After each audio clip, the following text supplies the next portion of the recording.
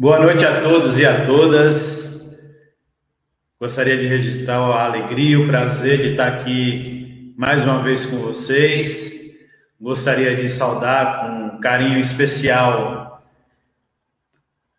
alunos e alunas do Polo de Bicuí, saudar o tutor Gilbert, alunos e alunas do Polo de Vitória da Conquista, saudar a tutora Marcele, alunos e alunas do Polo de Macaúbas, saudar o tutor Valdeci, alunos e alunas do Polo de Piauí, saudar o tutor Juscelilton Newton, alunos e alunas do Polo de Santa Maria da Vitória, saudar a tutora Darlane, e alunos e alunas do Polo de Jacaraci, saudar o tutor João Ricardo. Estamos encerrando, turma, três semanas da nossa disciplina de políticas públicas um debate fundamental que nós fizemos e vamos continuar fazendo no nosso local de trabalho.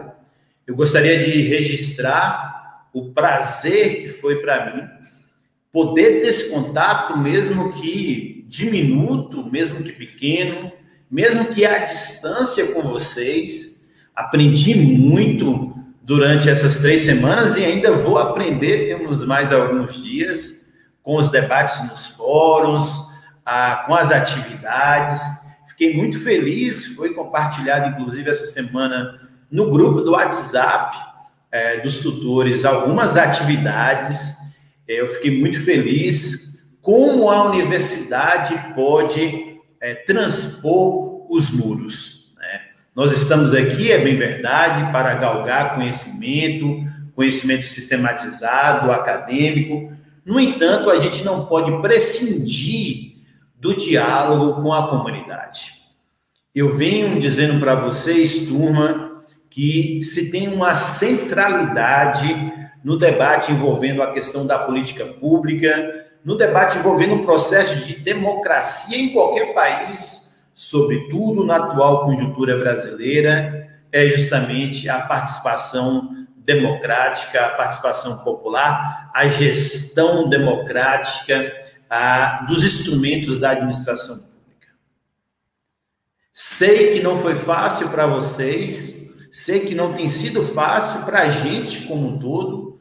Vivemos uma crise sanitária, chegando a quase 600 mil mortes perdidas na pandemia da Covid-19, mas aliada a essa crise sanitária, temos a crise econômica, chegando já a quase 15 milhões de desempregados, metade praticamente de desalentados, aqueles que nem mais têm interesse em procurar emprego, cerca de 80 milhões de pessoas no Brasil, nesse momento, têm algum grau de insegurança alimentar, em outras palavras, fome. Vivemos uma crise ambiental, um desmonte de tudo que nós conquistamos nos últimos 40 anos, da 6938 de 81, da Política Nacional do Meio Ambiente, a própria Constituição de 1988, o Sistema Nacional do Meio Ambiente, o SISNAMA, que é um sistema eminentemente público de planejamento e gestão. Vivemos também, turma, ouso dizer, uma crise ética, uma crise de valores, em que o conhecimento ele tem que ser disputado com essa nova realidade que nós podemos chamar de pós-verdade, em que uma parcela considerável da população, considerável mesmo, desacredita o conhecimento, conhecimento sistematizado, a ciência, cria-se uma verdade paralela, uma pós-verdade, em que constantemente temos que dizer o óbvio. Infelizmente, turma, nesse momento, na atual conjuntura brasileira, o óbvio precisa ser.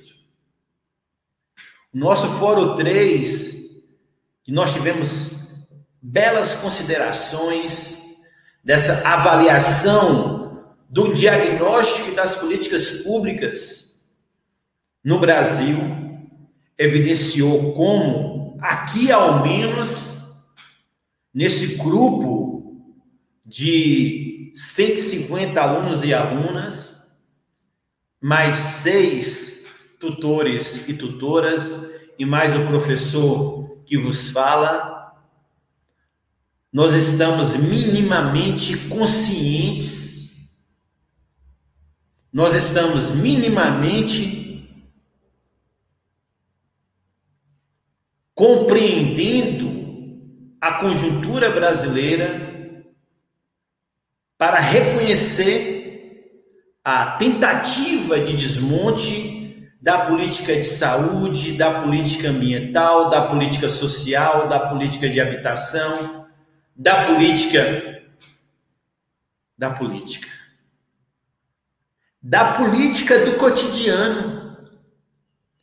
Aquela política que nos remete a ter prazer de dialogar, de ter prazer de conversar com meu amigo, com minha amiga, com meu familiar, com meu colega de trabalho, meu colega de rua e poder, de maneira fraternal, de maneira solidária, discutir os rumos desse país, discutir os rumos da sociedade, como nós fizemos no Fórum. Como compreender uma política pública inclusiva, que seja acessível a todas e a todas, portanto, universal, pública de qualidade, se a gente não consegue estabelecer na própria sociedade uma relação fraternal, uma relação solidária, uma relação de resiliência. Percebam, turma, e eu acredito, e acredito firmemente não à toa estou aqui na universidade pública, como a Universidade Estadual do Sudoeste da Bahia, a UESB, uma universidade pública de qualidade e socialmente referenciada, porque eu acredito que um novo Brasil, ou um Brasil diferente do que nós estamos vivendo, e ouso dizer, turma, um mundo diferente é possível. Não só possível um novo Brasil, um novo mundo, mas como necessário. Não tem como a gente não compreender como no período pandêmico os mais ricos ficaram mais ricos e os mais pobres ficaram mais pobres. O Brasil retornou o mapa da fome. Como poder conviver? E eu digo para vocês que esse debate nos aflige cotidianamente, mas ao mesmo tempo é paradoxal, é contraditório esse sentimento de discutir política pública hoje no Brasil, porque há uma aflição de tudo que nós podemos olhar pós-Constituição de 88, nesse processo de redemocratização do Brasil, em que você tem um marco fundamental que é a Constituição Cidadã, que estabelece que foi uma Constituição promulgada que estabelece lá no artigo 5 da Constituição que todos são iguais perante a lei, sem distinção de qualquer natureza, garantindo-se aos brasileiros e aos estrangeiros a inviolabilidade do direito à vida, nosso bem maior, liberdade, sem ela nós não podemos viver, já diria Cecília Meirelles, igualdade, segurança e propriedade. Não contente na própria Constituição, turma, no artigo 6 vai colocar outros direitos distintos, mas que caminham juntos com o artigo 5 que são os direitos civis e políticos, dos direitos sociais. Direito à educação, direito à saúde, direito à moradia, direito à previdência, direito a transporte, direito a trabalho. A trabalho. Mesmo compreendendo que nós vivemos no Brasil, que hoje estabelece uma visão inadequada da Constituição, porque nessa disciplina, turma, inclusive no dia de hoje, que eu gostaria de falar mais alguns elementos do processo de avaliação de políticas públicas. Nós não podemos esquecer que na Constituição, lá no artigo 37 da Constituição, nós temos os princípios da administração pública. Princípios esses que eu, você, tentamos arduamente colocar em prática no Brasil desde essa Constituição. Legalidade, impessoalidade, moralidade, publicidade e eficiência. Para que a gente não esqueça jamais, vamos dizer assim, os cinco princípios da administração pública do artigo 37, um pequeno macete, é só lembrar de LIMP. LIMP. Legalidade, impessoalidade, moralidade, publicidade e eficiência. E nós, funcionários públicos, funcionários e funcionárias, que temos a consciência de classe, que somos trabalhadores e trabalhadoras, não importa o nosso salário, se é 2, se é 3, se é 4, se é 5, se é 10, se é 15, se é 20, se é 50 mil, nós vendemos a nossa mão de obra para o Estado o nosso patrão é o Estado. Portanto, temos que ter consciência de classe que somos trabalhadores e trabalhadoras.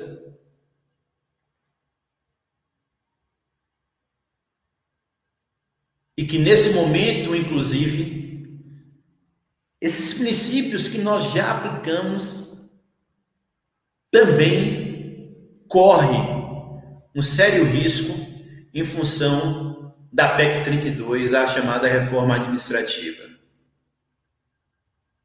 Como avaliar políticas públicas? Se essa PEC, a PEC 32, hashtag PEC 32 não, a chamada reforma administrativa, capitaneada pelo ultraliberal Paulo Guedes, no Ministério da, da Economia, como avaliar políticas públicas, a eficiência da política pública, se a gente, enquanto servidor público, enquanto servidora pública, não tivermos estabilidade, por exemplo. Em que a nossa eficiência mesmo como queiram colocar para a gente, é a partir de, dos novos funcionários, não importa. A nossa vida prescinde o nosso trabalho atualmente. A gente tem que ter essa visão intergeracional. Como garantir o E do LIMP, a eficiência, se a gente não tiver autonomia para avaliar as políticas públicas. Percebam, turma, como isso é grave. Olhe a questão sanitária hoje no Brasil. a própria questão do combate à pandemia desde o início, quando a nossa Constituição mais uma vez a nossa grande Constituição, a Constituição Cidadã. Tem muita gente aí nas redes sociais e tudo mais que fala que a Constituição é comunista. Que bom! Se a gente pega lá o artigo 3 da Constituição, turma, ali a gente vai perceber que comunismo, em uma perspectiva radical, do radical da palavra, inclusive do ponto de vista histórico, a gente está lá no artigo 3 da Constituição. Uma sociedade justa. Está no artigo 3, mas está no artigo 170 da ordem econômica. A ordem econômica tem como base o primado do trabalho e a justiça social. Uma sociedade livre está lá no artigo 3. Mas agora eu gostaria de falar para vocês do artigo 196 da Constituição, que fala que a saúde é um direito de todos e é um dever do Estado. Saúde é um direito de todos e dever do Estado. É função, enquanto políticas públicas, orientar, inclusive na centralidade da repartição da federação que nós temos, nós não temos uma confederação. Aqui no Brasil, turma, não é os Estados Unidos da América, em que cada estado faz uma ação. Nós temos aqui uma República Federativa do Brasil. A União tem responsabilidade nas normas gerais, Estado e Distrito Federal como um ator decisivo nesse processo e os municípios. E a gente percebeu como essa política pública, se é que podemos chamar de política pública, de saúde, de combate à pandemia, eivado de negacionismo, de não observância aos parâmetros científicos, de negação de aquisição de vacinas ou aquisição tardia, fez com que a gente chegasse nesse momento da pandemia ainda tendo dificuldades no combate. Vide aí mais uma vez essa semana, quando o ministro da Saúde, o Queiroga, convoca convoca, dia 16 de setembro, né? Convoca uma coletiva para mais uma vez reformular ou reinterpretar o Plano Nacional de Imunizações do PNI. Olha só como isso mexe com a gente. E quando eu falo com a gente, não é só nós, funcionários públicos, é o povo brasileiro como um todo. Como a gente conduz esse processo se a gente não consegue, por isso que eu falo que é paradoxal, é tenso, é frágil, é uma situação que a gente fica com medo, mas ao mesmo tempo a gente precisa resistir. Ao mesmo tempo a gente precisa esperançar. Como diria nosso grande educador Paulo Freire, 100 anos de Paulo Freire, viva Paulo Freire. É preciso esperançar. É preciso saber que a história é cíclica, e eu falei para vocês isso na primeira aula da gente aqui ao vivo. Nós temos momentos de alto dos direitos, momentos de baixa, mas a história é cíclica. Pode até demorar, mas esse desgoverno, sintetizando inclusive o debate que nós realizamos nessa última semana, aberto ainda até a próxima quarta-feira, dia 22, tanto fórum, do, tanto fórum 3 como atividade 3. Não vai durar para sempre. E eu gostaria de mais uma vez, turma, parabenizar o empenho de vocês, o nosso empenho, porque eu sei, foi relatado inclusive no grupo do WhatsApp também, pelos tutores. Nós tivemos aluno, aluna que, olha, a quantidade de questões pessoais não cabe nem entrar no mérito. Todos nós estamos fragilizados do ponto de vista subjetivo e também do ponto de vista objetivo. Olha a inflação. Né? O que você comprava anteriormente, hoje você já não compra mais. Então, você está subjetivamente fragilizado, mas objetivamente também. E eu gostaria de mais uma vez, turma, parabenizar a todos e todas pelo empenho no curso, né, no curso como todo de gestão municipal, e, sobretudo, na nossa disciplina de políticas públicas. Porque nós estamos aqui justamente, turma, mesmo com todas essas dificuldades, pensando, eu tenho que me preparar porque quando as coisas melhorarem, eu, eu estarei pronto, estarei apto para colaborar nesse processo. Para dar a minha contribuição na transformação dessa sociedade, portanto, da administração pública. Isso não é pouca coisa. Isso, isso é muito, isso é muito na atual conjuntura que a gente vive. Eu confesso para vocês, turma, que eu falo sempre com minha companheira, com minha esposa Valéria, que se tem um lugar que para mim é, tem sido um lugar de refúgio é esse daqui. Né? Porque se você fica cotidianamente nas informações, tal, não estou.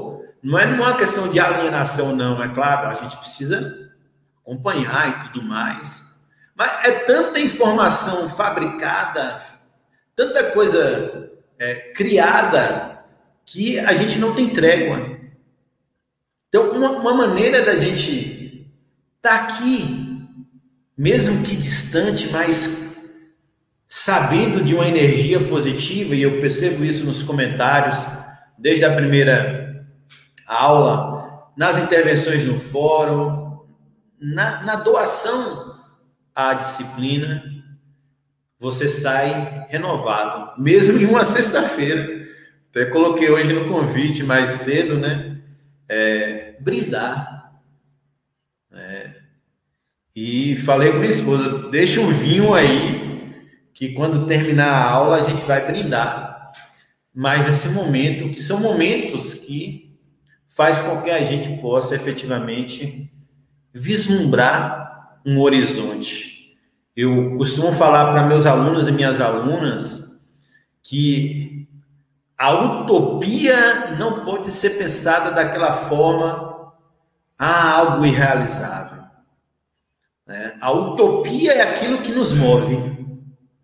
E eis algo que hoje me move, aliás, algo que sempre me moveu nos últimos 20 anos, enquanto professor do ensino superior, mas que nesse momento tem uma tem uma uma, uma uma extensão do meu corpo é a sala de aula, mesmo que de maneira virtual. Porque eu sei que daqui a gente vai conseguir fazer intervenções, é, mesmo no presente, como a gente fez nas atividades, está fazendo e também no futuro. Então, eu gostaria, nessa fala inicial, agradecer é, muito demais vocês por essa parceria aqui e essa primeira introdução aí, vou ver alguns comentários aqui, depois a gente dá prosseguimento, tá bom, gente? É...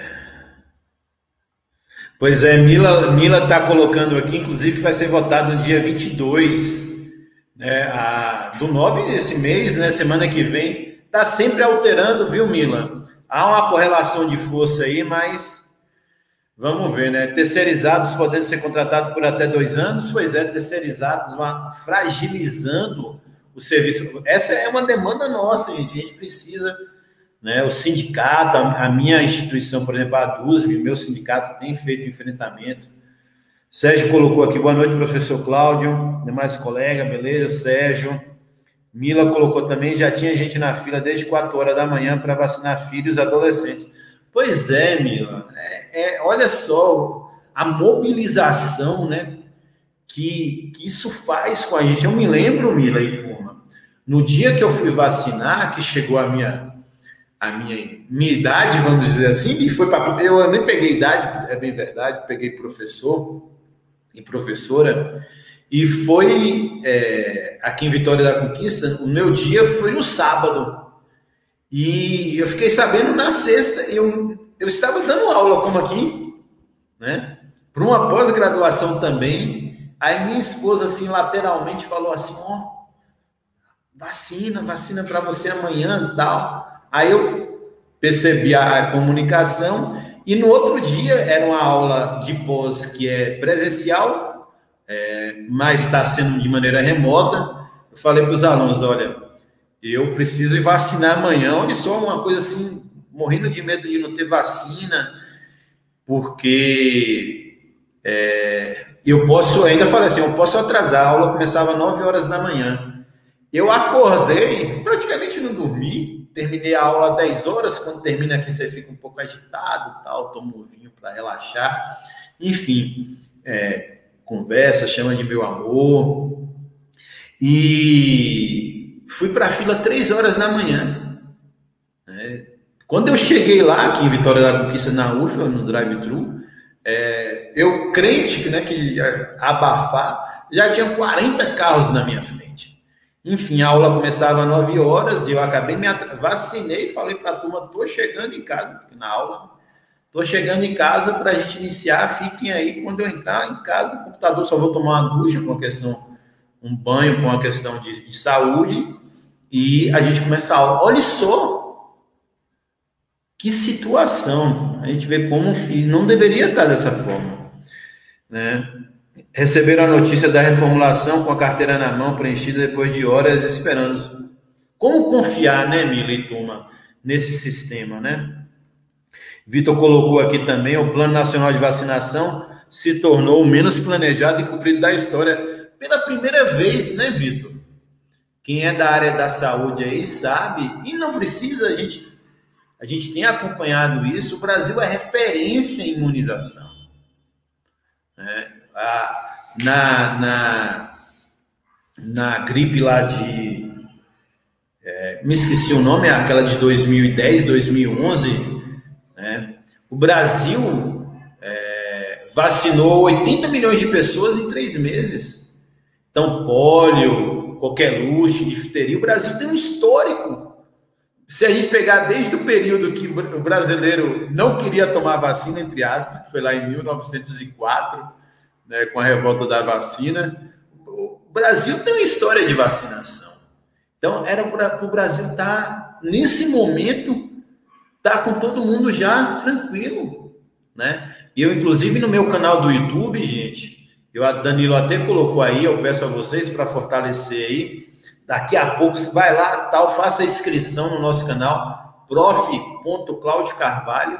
No ano passado, inclusive fica se repetindo, é impressionante. Primeiro, um dos primeiros vídeos que eu fiz foi justamente dessa falsa dicotomia de saúde e economia. Depois, no segundo vídeo, até falei para os alunos essa semana que ficaram falando de sítio, né? Fiz o segundo vídeo sobre estado de sítio, estado de calamidade pública e tudo mais. Então, percebam, gente, como a gente tem um histórico de vacinação. E do ponto de vista econômico, era muito mais adequado, que não existe essa dicotomia, mas se a questão é econômica, era muito mais adequado que você já vacinasse a população. Mirela colocou verdade, professor. Saltou aqui.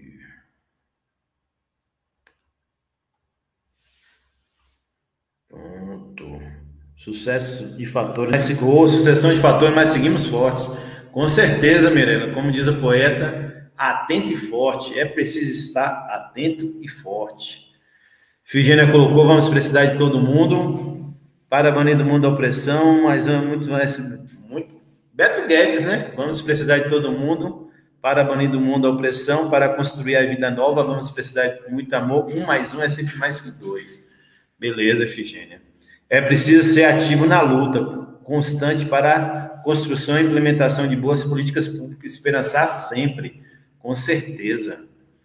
Helder, sextou, vamos brindar, com certeza, vamos celebrar a vida, Helder, nesse país de, de genocídios orquestrado, está vivo, né? está vivo é um ato de resistência, né? então vamos celebrar a vida, vamos celebrar a vida, com certeza. Leosvânio colocou aí, voltaremos ao coronelismo. Eu espero que não, Leosvânio, é claro. Tem um historiador chamado Murilo de Carvalho, que é lá do Rio de Janeiro, que ele sempre vai nos chamar a atenção é, que o coronelismo ele tem uma, uma datação histórica. Então, ele de fato começa com a República Velha, lá, com a proclamação da República em 1889, e vai até 1930, quando tem início a ditadura Vargas. É, e ele fala, olha, coronelismo ele é datado em função das relações, né? Eu, eu até compreendo essa apreensão, Leosvânio, que outro grande teórico, Leal, vai, inclusive, nos ensinar ou registrar para a gente duas categorias que até hoje a gente fala um pouco. Curral eleitoral e voto de cabresto, né? Vem desse período coronelista, em que é, os coronéis, portanto, o poder local tinha um, dialogando inclusive com Pierre Bourdieu, o poder simbólico, eles tinham no mesmo campo o campo político, o campo econômico e o campo social. Né? Então, eles detinham as, as relações capitalistas, compreendendo que terra faz parte desse daquele período de transição do capitalismo mercantil para o capitalismo industrial, então, a industrialização no Brasil ele só ocorre mais à frente. Então, ter terra era ter poder, né? poder econômico, poder social e poder político. E é, essas duas expressões nascem desse processo, né? em que havia uma, uma relação praticamente direta entre o poder central e o coronel, que no dia anterior à eleição, literalmente, colocavam as pessoas, seus, seus agregados, né?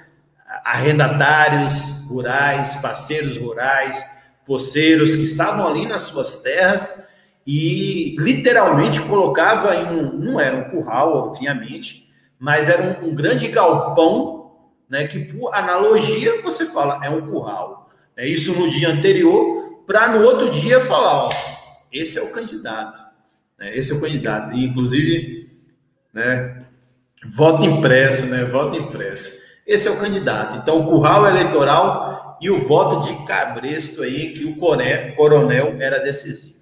O Murilo de Carvalho vai falar que, na verdade, você tem outras facetas, né? o mandonismo, por exemplo. Antônio Carlos Magalhães, o original, né?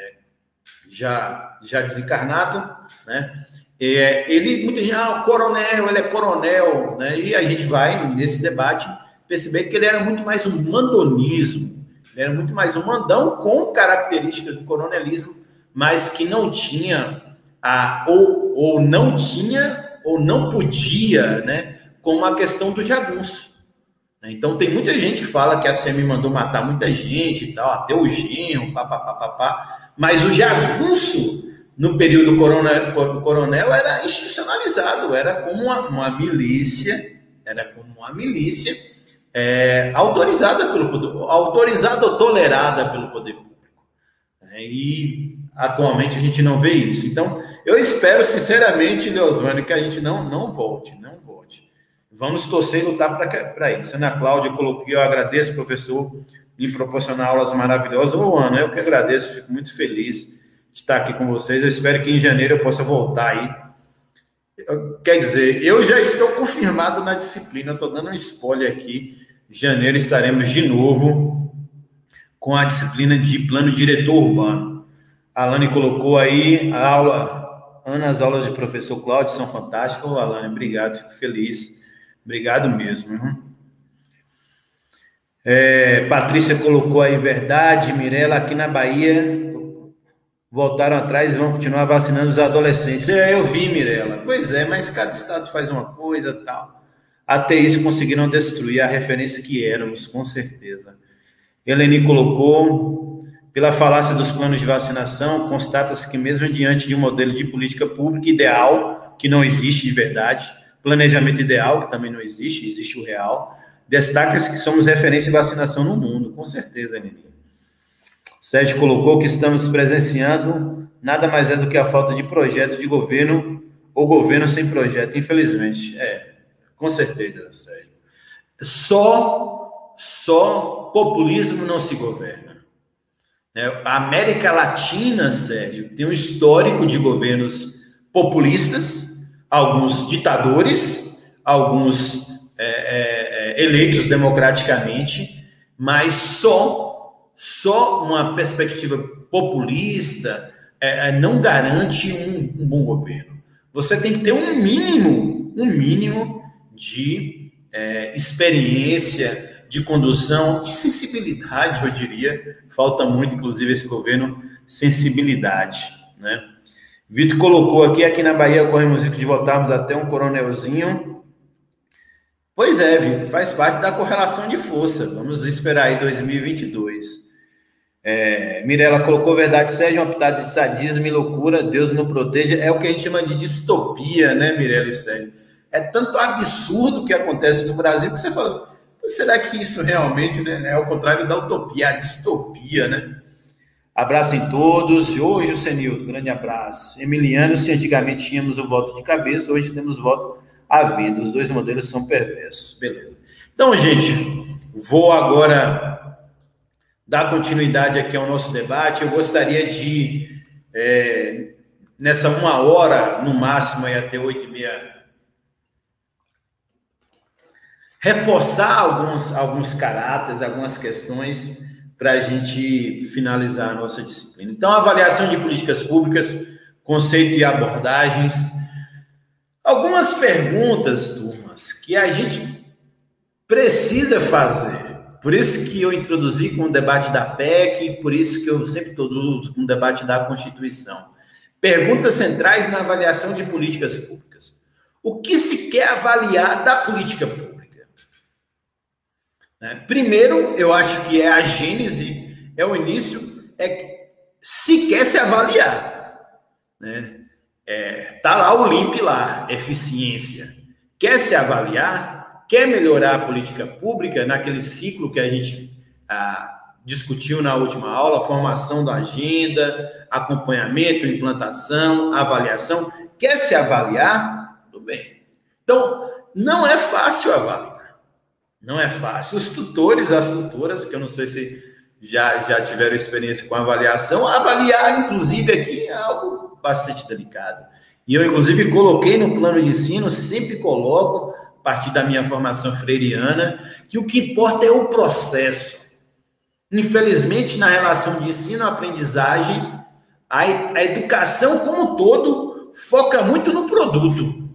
Eu falo sempre com meus alunos, com minhas alunas, olha, o que importa é o processo, o que importa é o caminho aqui.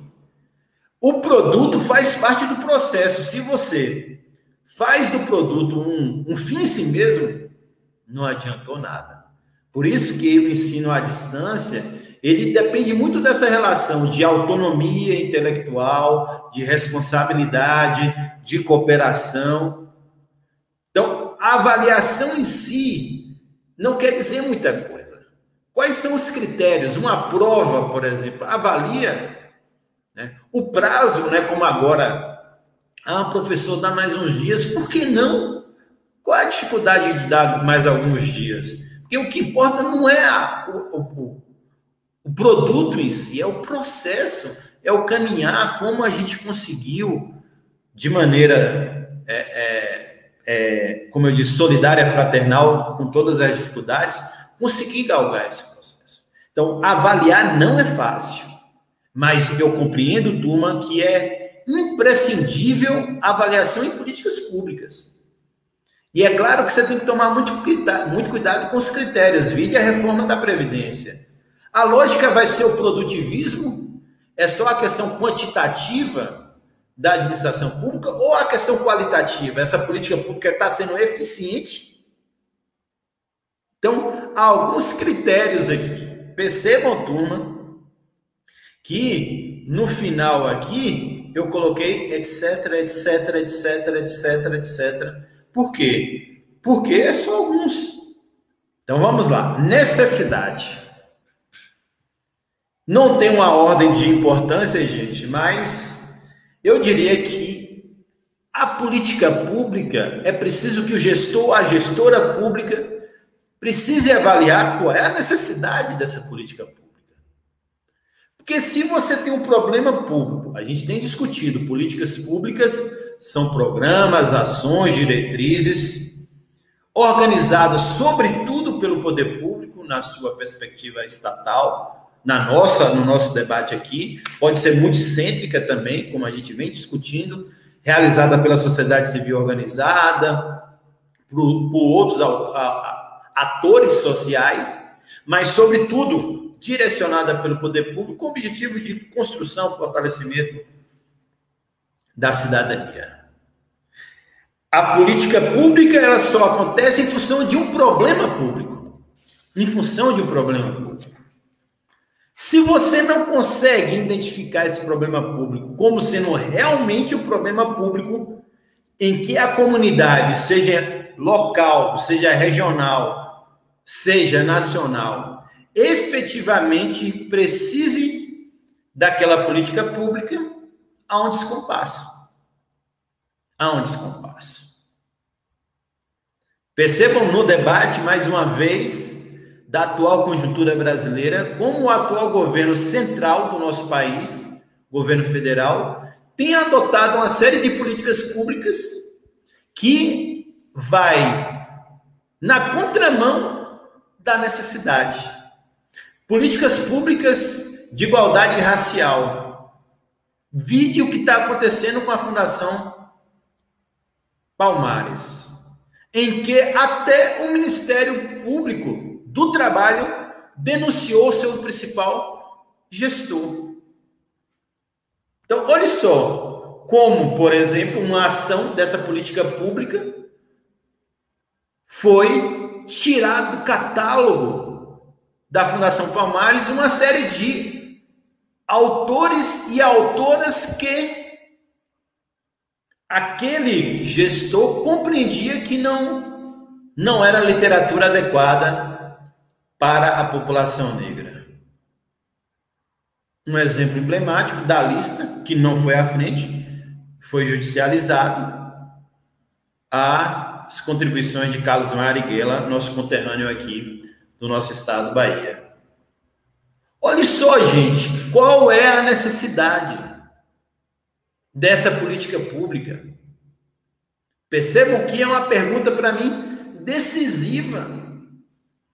Se você faz essa pergunta logo no início, você já tem condições de acertar mais à frente, ou ter uma probabilidade maior de acertar. política armamentista do atual governo. Você quer se armar? Eu quero me armar? Qual é a necessidade? A Constituição diz que cabe à Polícia Militar o papel da segurança ostensiva. As guardas municipais servindo como auxiliar do processo. Não cabe guarda civil municipal fazer policiamento. Esse é o papel da polícia militar. A guarda civil pode auxiliar. O papel da guarda civil é zelar pelos prédios públicos municipais, pelas praças públicas municipais, pelas ruas. E se identificar uma situação em flagrante, ela pode atuar, mas depois passar para quem de direito, Polícia Militar ou para a Polícia Civil. Qual é a necessidade de nos armar? Ah, é para proteger o patrimônio. Patrimônio em casa, patrimônio urbano, melhor dizendo, ou patrimônio rural? Ah, eu preciso ter uma arma em casa. As pesquisas sinalizam, inclusive, que há relação para me proteger de furto, roubo, sobretudo de furto, que é mediante violência Aquele que comete o ato criminoso tem um fator decisivo, que é o fator surpresa. Não à toa, os próprios, as próprias instituições de segurança pública falam para a gente o quê? Não reage. Não reage. Não reage. Então, qual é a necessidade real de se armar a população? É uma pergunta fundamental. É para proteger a população? É para nos proteger? Mas quem, quem tem esse papel é a Polícia Militar. Percebam como essa pergunta é fundamental. A necessidade, turma, eu diria que ela está muito ligada ao conceito de, quando a gente debate políticas públicas, de vulnerabilidade. Vulnerabilidade. Sobretudo de vulnerabilidade. Só que vulnerabilidade é um conceito político, social, econômico, ambiental. É preciso a gente compreender que o conceito de vulnerabilidade é um conceito em disputa. Ele é um conceito em transformação, não é um conceito fechado. Quem é de Vitória da Conquista, me perdoe eu exemplificar tanto de Vitória da Conquista, mas coloque aí no chat a realidade de vocês, né? Mas só para fechar esse necessidade. Nós estamos aqui, turma, é, em Vitória da Conquista, passando pelo processo de reforma da Avenida Olívia Flores, que é uma das principais avenidas da nossa cidade. Beleza? Beleza. Já foi entregue uma primeira parte, agora está fazendo o processo de tamponamento, né? É, do canal de escoamento de águas de chuva. Beleza? Beleza. Bairro Brasil. Bairro Brasil. Eu gasto da UESB antes do período pandêmico do bairro Brasil até o Wesb, para quem conhece Vitória da Conquista, bairro Brasil é um bairro relativamente distante é, da UESB, que é o bairro Universidade, cerca de 45 minutos, assim, na maciota, para não chegar transpirando. Pá, pá, pá, pá, 40, 45 minutos. Só que tem um detalhe fundamental. A parte inicial do meu percurso em uma ciclofaixa, em que várias vezes, eu até já compartilhei nas redes sociais, Instagram, Facebook, várias vezes eu já tive que disputar com um motociclista. Porque vocês sabem que a ciclofaixa é aquela que é segregada, aquela que é separada, portanto é mais segura. A ciclofaixa, é aquela que é separada, mas não tem uma separação física. Só tem uma separação ali por uma pintura, por exemplo, um olho de gato. É menos segura. É menos segura. O trabalhador e a trabalhadora no, no blog Nádia, que eu já compartilhei para vocês, tem até um artigo nosso falando sobre o uso da bicicleta pelo trabalhador e pela trabalhadora. E mobilidade urbana. Trabalhador e trabalhadora no Brasil, antes da pandemia, agora nem se fala, se desloca de bicicleta. Pedreiro, pedreira, a empregada doméstica, empregado doméstico, o professor, a professora, o comerciário, se desloca de bicicleta. Só que, por exemplo, na Avenida Brumado, que tem ali bairro Brasil e Ibirapuera, pegando até o final da Avenida Brumado, quantidade enorme de bairros, Vila Serrana, Bater 2, Mirocário, Senhorinha Cário, Urbis 5. Eu tenho uma ciclofaixa. Olha aí.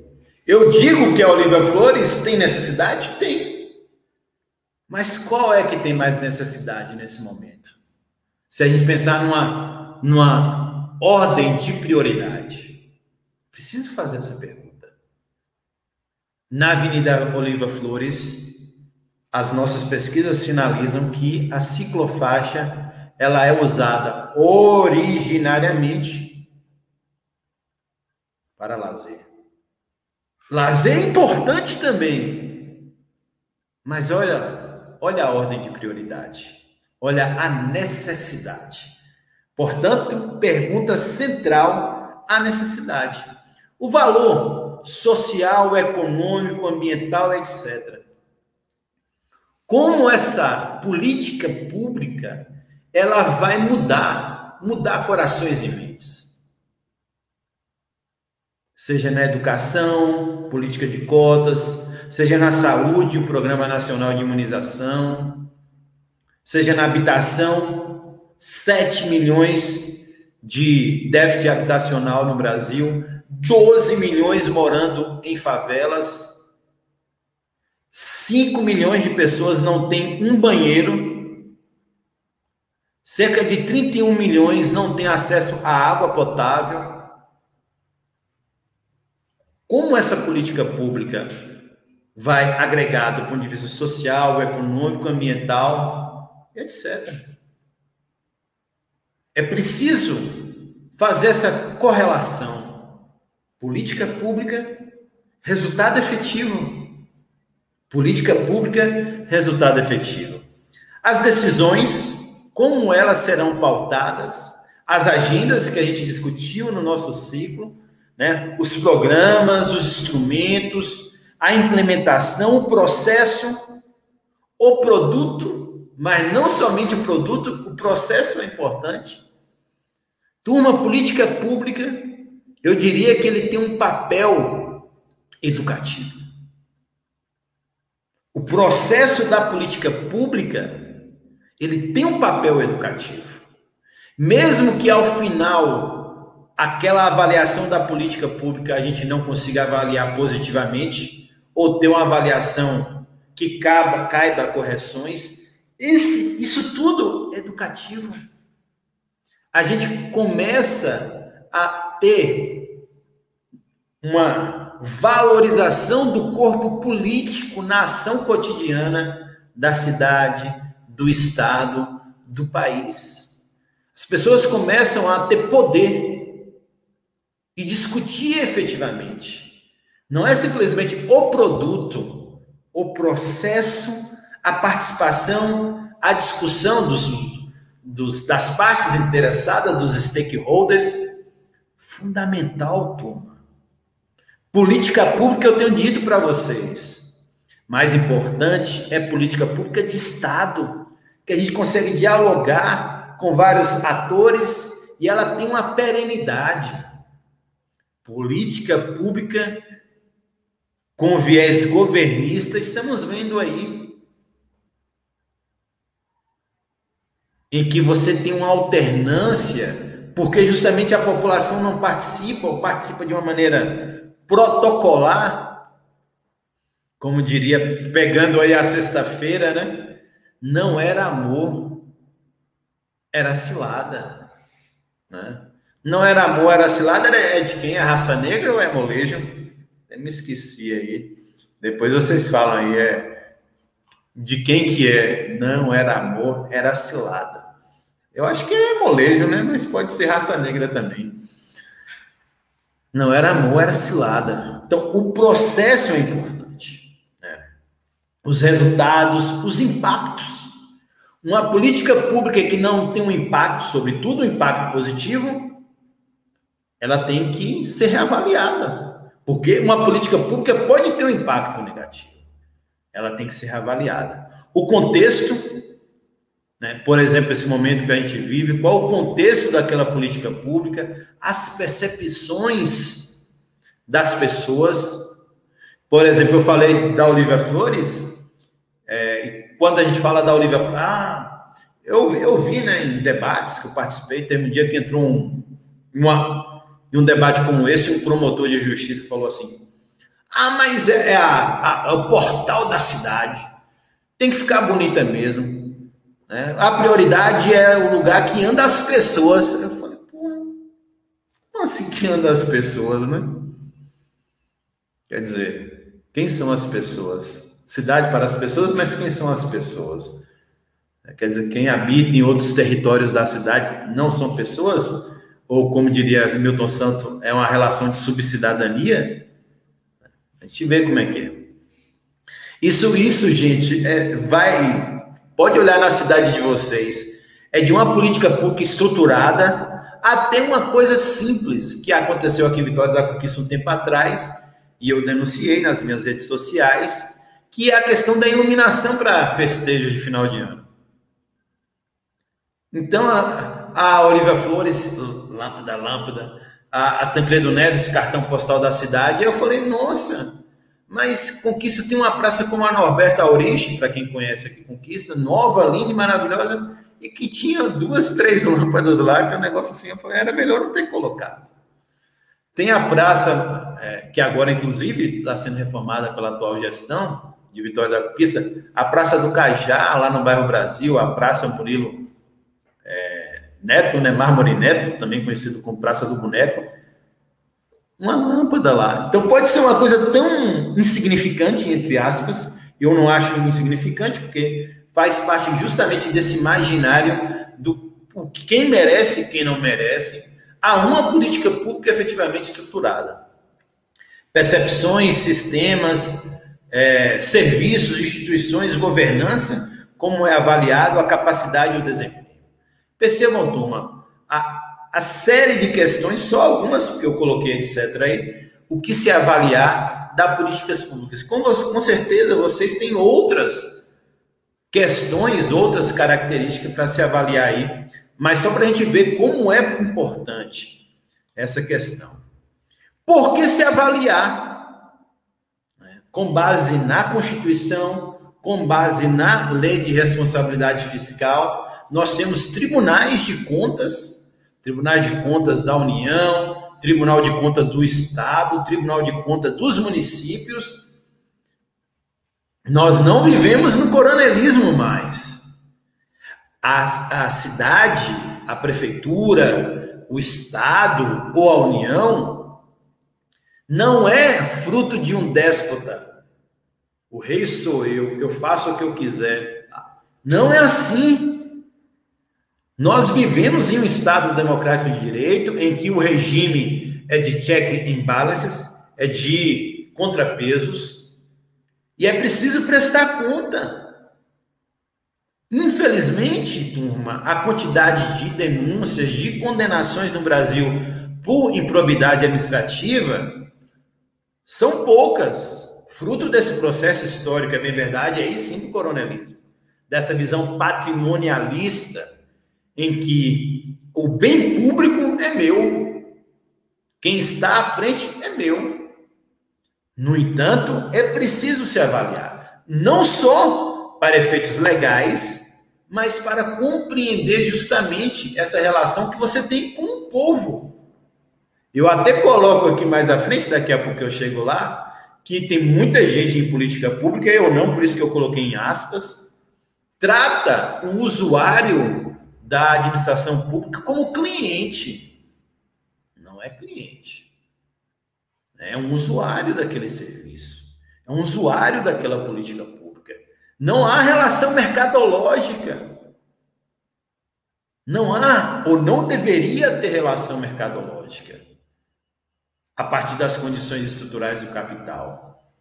Então, prestar conta legal, fiscal, finalística, é justamente para o povo, melhorar a intervenção, aquilo que a gente discutiu, o desenho, a gestão, a gestão dos resultados.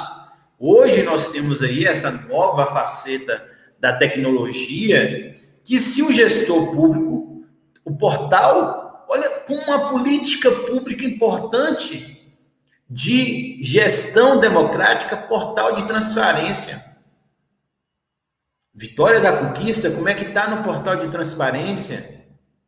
Santa Maria da Vitória, Ibicuí, Jacaraci, Macaúbas, tem lá um portal de transparência dizendo efetivamente como é, é gasto, ou é uma, uma caixa né, inacessível gerar conhecimentos. Então, há políticas públicas, você tem como gerar conhecimento. Vitória da Conquista está passando por um plano diretor urbano e eu sou o delegado da UES para o plano diretor urbano e só um instantinho. E eu posso fazer críticas, inclusive, tranquilamente a atual plano diretor urbano que foi é, votado pela gestão do Partido dos Trabalhadores 2006, prefeito José Raimundo Fontes. Por quê? Escrevemos um artigo, tá aí. Disponível, tá lá naqueles, no blog do Naja, críticas duríssimas ao plano diretor urbano. Né? E estamos aí agora, fiz uma fala, tá na, na no site da Prefeitura de Vitória da Conquista, para quem não acompanhou, teve uma audiência pública essa quarta-feira, e fiz questão de elogiar vários artigos da minuta, ainda vai ser aprovado pela Câmara de Vereadores o novo plano diretor urbano, mas mais uma vez fiz a crítica. Mais uma vez fiz a crítica. Por quê? Gerar conhecimento é fundamental.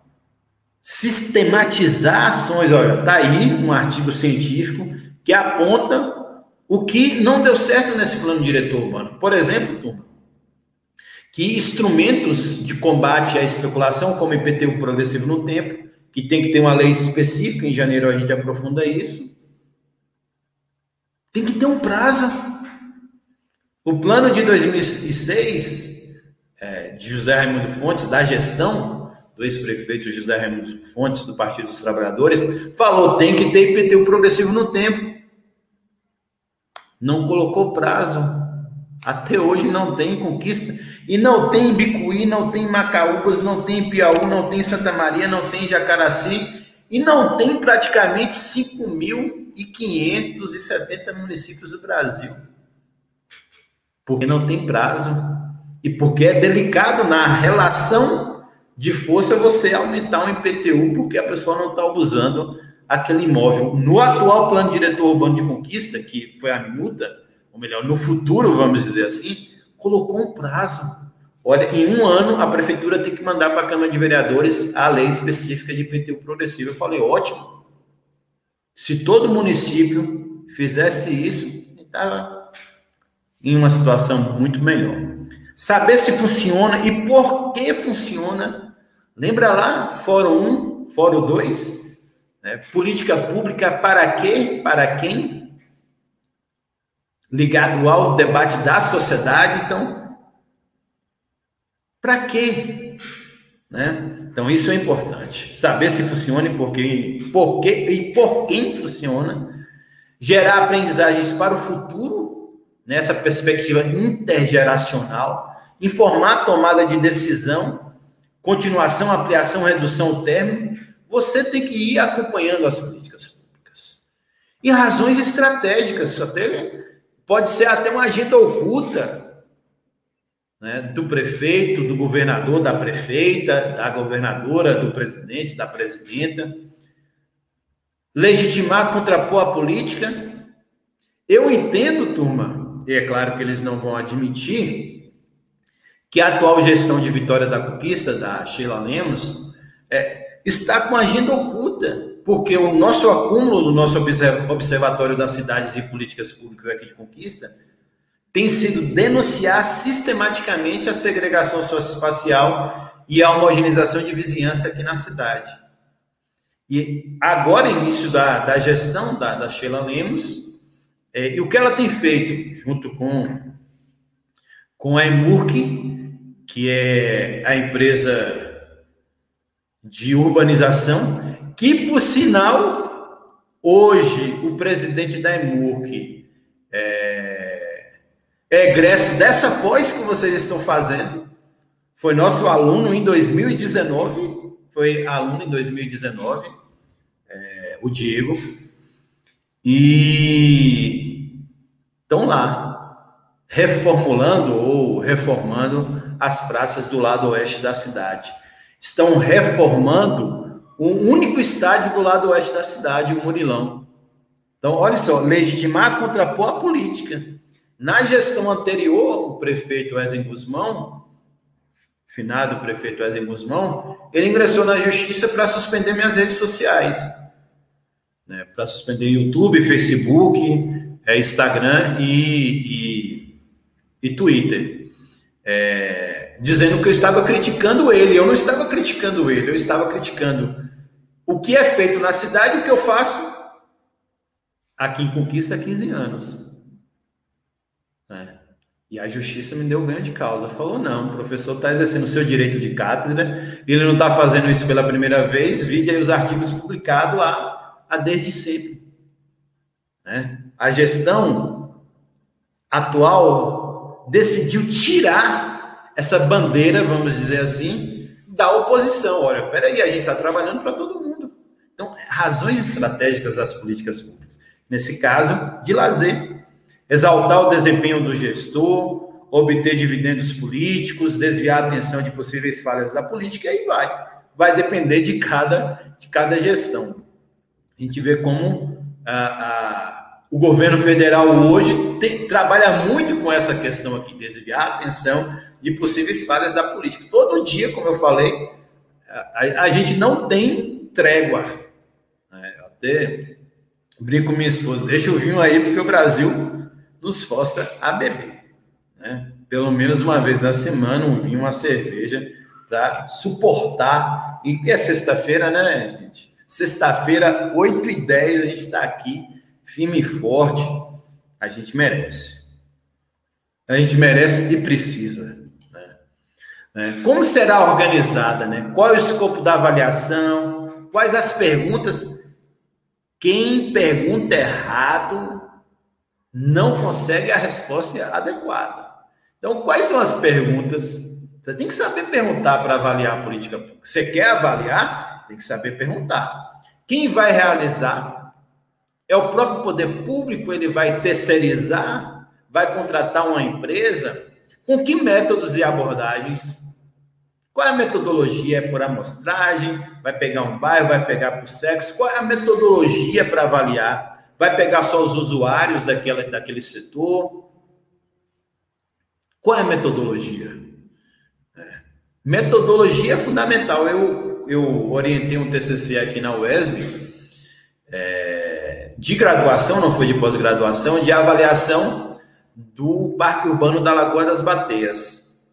E, para quem não conhece, fica no lado oeste da cidade também, ali próximo às Vilas Serranas. Jardim Valéria, Bateias. E o aluno que fez esse trabalho, o Samuel Martins, ele aplicou um questionário em Vitória da Conquista, 250 questionários, e com pessoas do entorno e afastadas, o raio. Porque aqui em Conquista, turma, quem é de fora, a Lagoa das Bateias é tido como um lugar que não é, por exemplo, policiado. Olha, olha aí o debate de segurança pública. Na Olivia Flores tem viatura, tem o PM, tem a Guarda Civil, mas na Lagoa das Bateias não tem o mesmo efetivo. E aí a gente foi lá avaliar essa questão de segurança, tal, tal, tal. E aí ele chegou à conclusão, a partir das perguntas, que quem mora no entorno gosta da Lagoa das Bateias, do parque. Né? Quem mora e que frequenta sabe que não é tão inseguro, que a própria comunidade, numa relação ali de coexistência, de auto-organização, trabalha para manter, inclusive tem, pra, mesmo para quem é de fora, Ibicuí, Macaúbas, Ipiaú, Santa Maria, Jacaraci, quando tiverem a oportunidade ah, de nos visitar aqui em Vitória da Conquista, Passem no Parque Urbano da Lagoa das Bateias, tem um, um museu da fauna, muito importante aqui nessa região de transição de Mata Atlântica e Caatinga. E aí, o que, que a gente percebeu, turma? Que quanto mais distante da lagoa, maior era a interpretação equivocada. Ah, é porque é violento, ah, porque não é seguro, é porque isso, tá, tá, tá, tá, tá. é feio. Até isso é feio. Não é arborizado, né? Então, isso é importante. Qual o método, né? Saber. E a nossa conclusão foi que, para quem é do entorno, o parque é importante, é seguro e é bonito. E é bonito. Poderia melhorar? Pode melhorar? Pode. Com quais dados, informações, de quais fontes, em quanto tempo, com que recursos, com quais parceiros. Então, como será organizado também é um, uma etapa fundamental na avaliação. Quais os critérios de sucesso e fracasso? É preciso que o gestor público mesmo que a gente é da gestão pública, tenha um cuidado objetivo um cuidado subjetivo, quantitativo, qualitativo.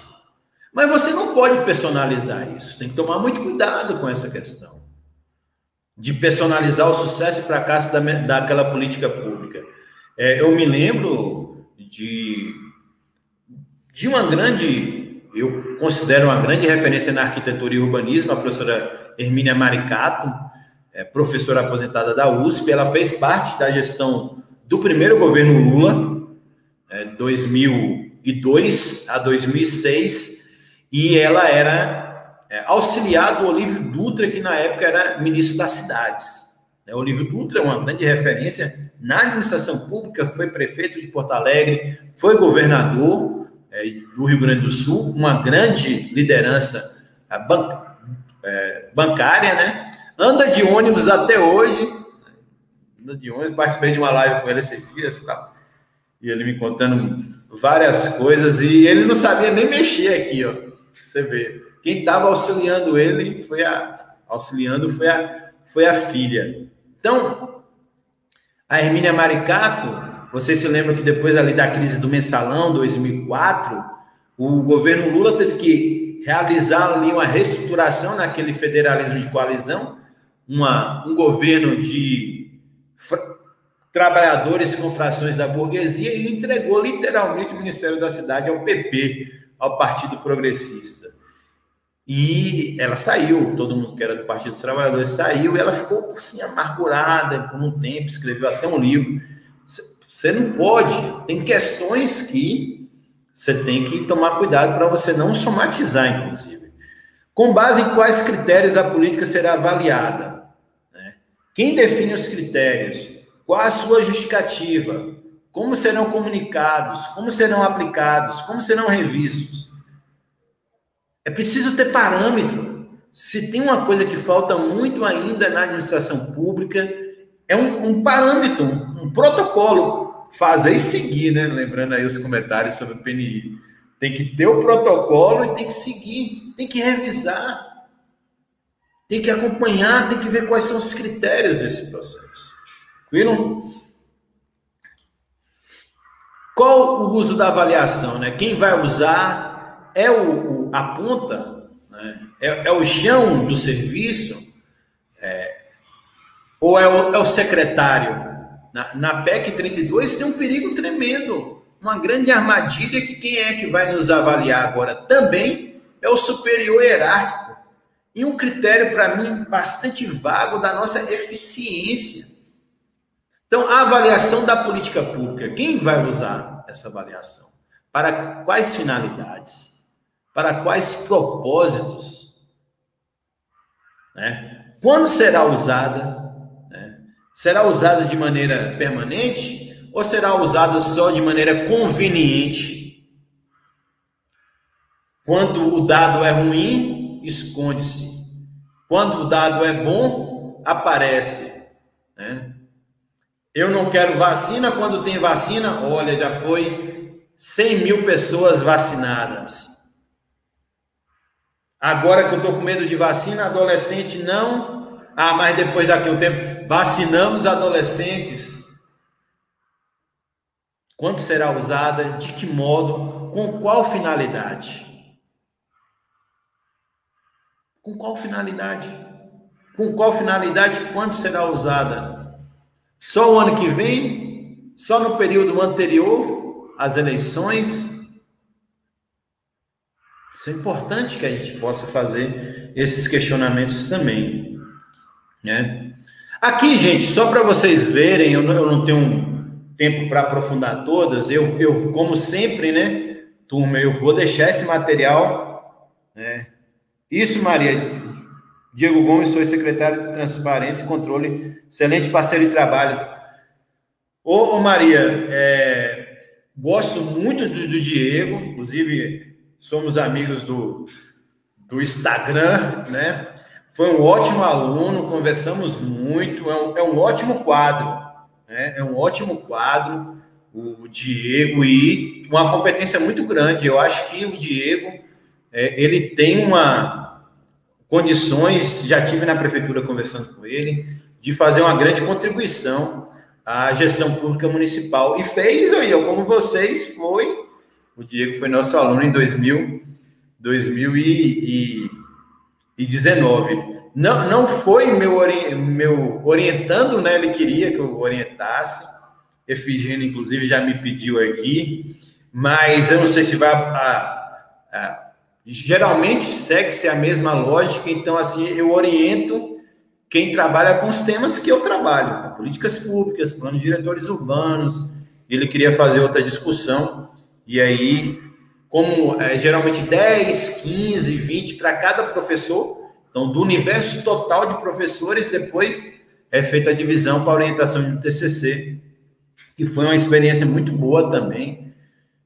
Na época que nós tínhamos alunos de, de Tabuna, aqui de Vitória da Conquista também, é, e foi de Guanambi, nossa, lembro de um trabalho que eu que orientei sobre política nacional de resíduos sólidos, e a gente vai chegar a esse, esse momento aí também. Né? Então, gente, como eu falei, só algumas abordagens para que vocês possam ter é, um, uma, uma visão, né? e eu vou, como eu disse, compartilhar também esses slides para os tutores. Então, modelos de efetividade, avaliação orientada a objetivos atingidos, avaliação orientada a resultados, né? uma avaliação como se fosse um gol livre, né? uma avaliação livre, né? avaliação orientada ao cliente, entre aspas, muitas aspas, eu acho que cliente é o usuário, avaliação orientada aos stakeholders, né? as partes é, interessadas do processo, uma avaliação global, né? uma compreensão mais evolutiva de toda a política pública, modelos econômicos que a gente tem que tomar cuidado, né? produtividade, eficiência, então tá dando lá, tá dando certo e tudo mais. Tomar cuidado. E a modelo profissional revisão de pares. Eu vou falar rapidamente de todas, gente, mas o que a nossa experiência tem sinalizado é que a gente não deveria ter somente uma abordagem na avaliação de políticas públicas. A gente deveria trabalhar com mais de uma abordagem, no mínimo duas, né, na avaliação das políticas públicas, porque todas são incompletas. Né? Na medida de cada caso, todas são incompletas. Então, só rapidamente aqui, turma, é, avaliar o modelo de efetividade, avaliação orientada a objetivos atingidos. Aqui eu vou colocar os, os pontos prós e contras, né? Medidas de alcance e avaliação de impacto é, é o mais adequado.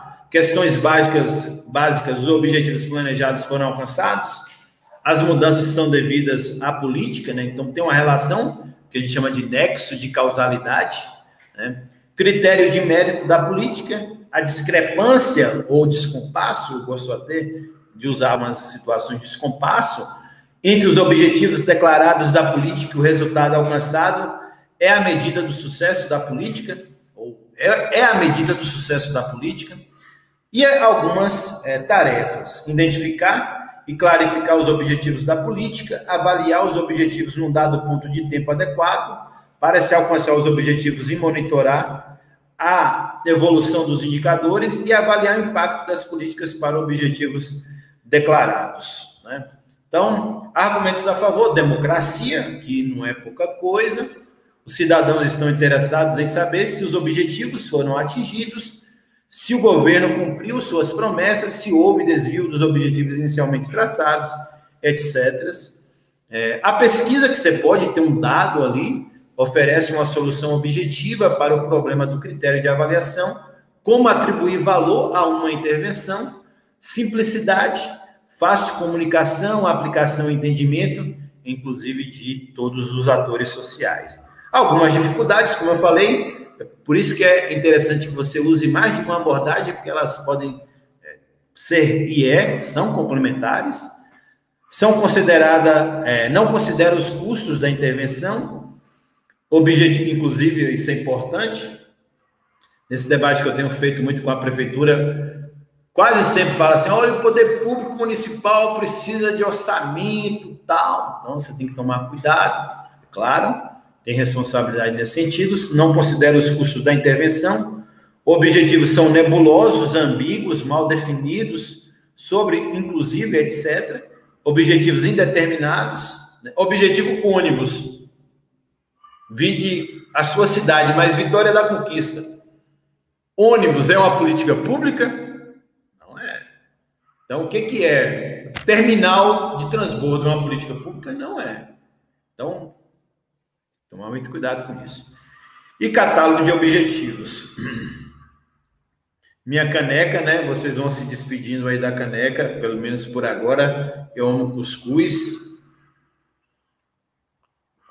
Não deu nem para fazer sorteio, que eu nem tive tempo de arranjar outra dessa, mas na próxima disciplina eu vou fazer o um sorteio de uma, de uma caneca para cada polo. Podem anotar aí e cobrar. Né? Ignorar efeitos não intencionais efeitos perversos e efeitos colaterais, agendas ocultas, objetivos declarados e objetivos não declarados. Então, acontece muito isso em várias situações, quando um artigo da lei, você, hum, tanto o ato de ter aquele artigo, como o ato de não ter. Então, por exemplo, no plano diretor urbano agora que está sendo discutido, só para exemplificar, é, Existe um, um, instrumento que a gestão do ex-prefeito Haddad, Fernando Haddad de São Paulo, é, estava usando e estava sendo referência para Paris, para Nova York, inclusive lá o plano diretor urbano de São Paulo, da gestão do Fernando Haddad, recebeu um prêmio da ONU e tem um instrumento que é chamado cota de solidariedade, né, que é uma forma de você é, estabelecer uma, uma área, por exemplo, acima de 20 mil metros quadrados, uma porcentagem, por exemplo, 10% de habitação de interesse social. Então, você tem um bairro, você tem um loteamento, né, que tem lá acima de 20 mil metros quadrados, você 10% habitação de interesse social. Então, qual é o objetivo disso, gente? Acabar com a homogeneização de vizinhança, ou com a segregação socioespacial. Veja próximo ao Wesley, ou próximo ao Olivia Flores. Tem Minha Casa Minha Vida do antigo programa Faixa 1, aqui em Vitória da Conquista, olhe na sua cidade. Veja Minha Casa Minha Vida, que era estruturada em três faixas, de 1 a 2, de 3 a 6 e de 6 a 9. O de faixa 1 tem nas áreas mais elitizadas da cidade, nobre eu não uso porque nobreza não existe no Brasil.